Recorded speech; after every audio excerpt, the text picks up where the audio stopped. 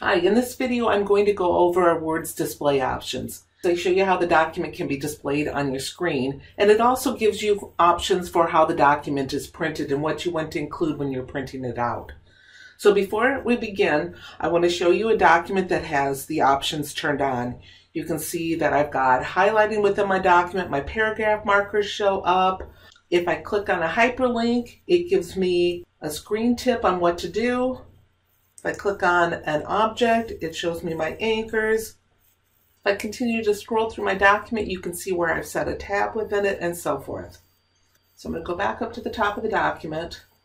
In order to set your display options, you need to go into the backstage.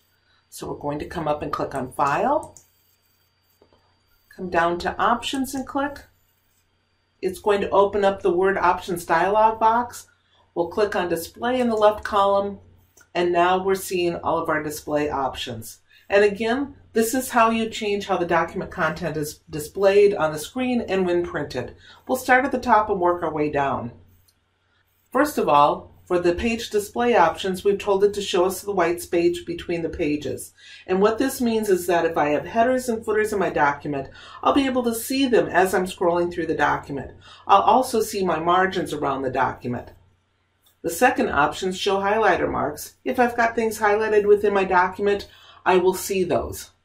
If I don't want to see that, I can uncheck it.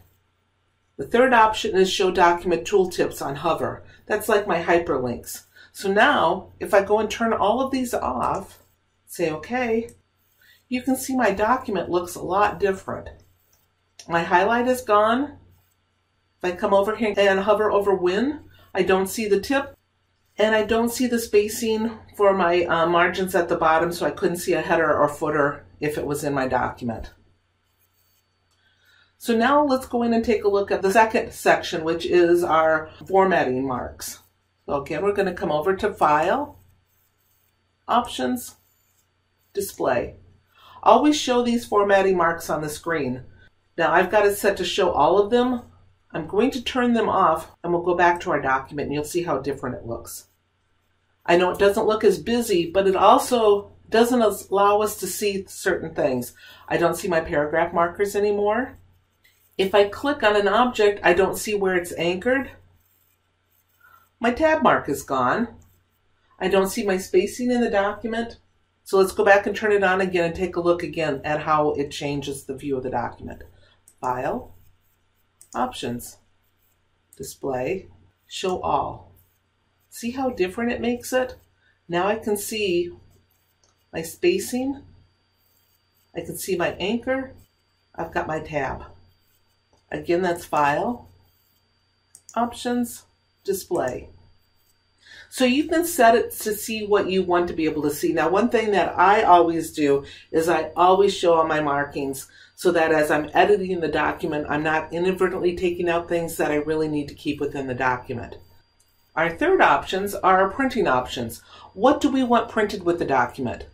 Do we want to print drawings created in Word? And what that means is that if you select this option, it'll print all drawing objects such as shapes and text boxes.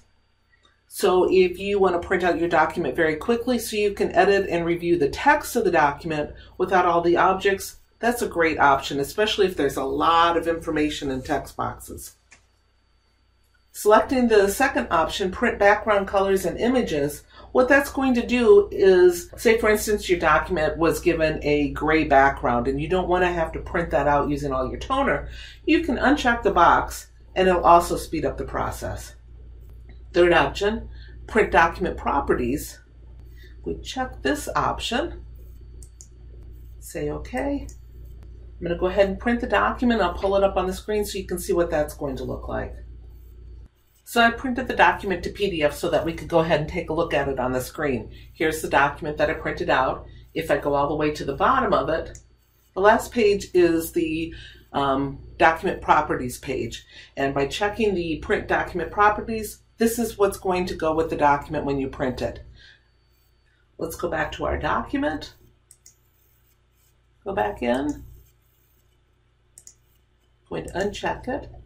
Our other options, print hidden text. If you select this, um, it'll print all text that is formatted as hidden.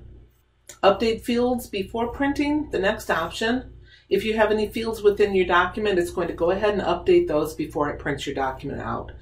So you want to be very careful with this if you've got fields within your document that you do not want to update unless you physically go in and tell it to update them. Do not check this box. And the final option is update link data before printing. So within this document, if you have links to data set up, before you print it, if you have this option checked, it will go and update those links. So again, be very careful when you're setting the print options because it's going to change the way your document looks.